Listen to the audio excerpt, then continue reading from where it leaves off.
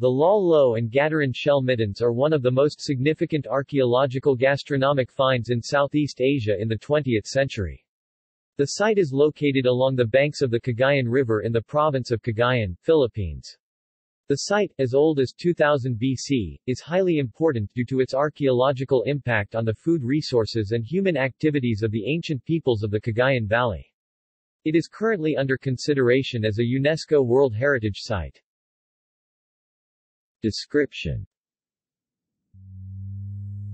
Roughly 500 kilometers northeast of Manila, various shell middens can be found that consist of shells of the predominant species Batissa childreni, a freshwater clam, in highest abundance.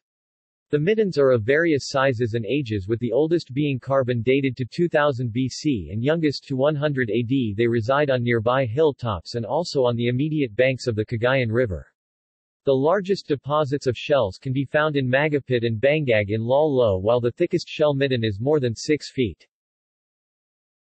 Near many of the middens have been found stone implements, bones, teeth, and intricately designed pottery. Declaration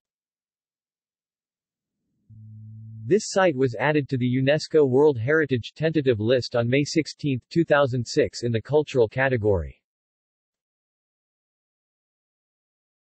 See also. Magapit protected landscape. References